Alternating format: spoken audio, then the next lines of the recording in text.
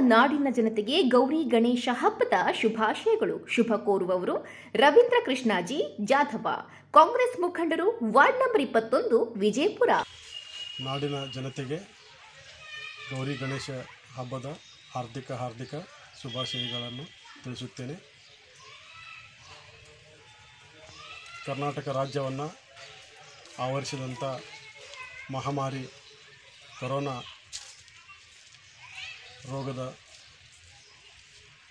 ಕಡಿಮೆಯಾಗಿ ಜನರನ್ನು ಸಂತೃಪ್ತಿಯಿಂದ ನೆಮ್ಮದಿಯಿಂದ ಜೀವನ ಮಾಡಲು ಅನುವು ಮಾಡಿಕೊಡಬೇಕೆಂದು ಗಣೇಶ ಉತ್ಸವವನ್ನು ಸಾಧಾರಣವಾಗಿ ಆಚರಿಸಿ ಕೊರೋನಾ ಮುಕ್ತವನ್ನು ಮಾಡೋಣೆಂದು ಗಣೇಶನ ಹತ್ತಿರ ನಾನು ಪ್ರಾರ್ಥಿಸುತ್ತೇನೆ. ರವೀಂದ್ರ ಜಾಧವ್. जलनगर ब्लॉक खजांची विजयपूरनगर